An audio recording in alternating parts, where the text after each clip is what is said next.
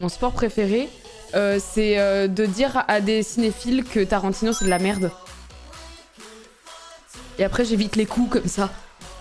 C'est mon sport fave. Merci Zlurk, merci à Timbu.